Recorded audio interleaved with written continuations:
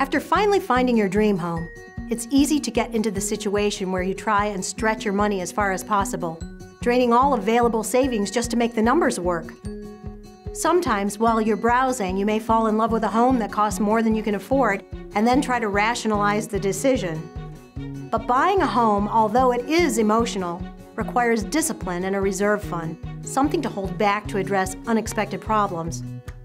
In most situations, there will be unforeseen circumstances, so you want to make sure you have the available reserve funds needed.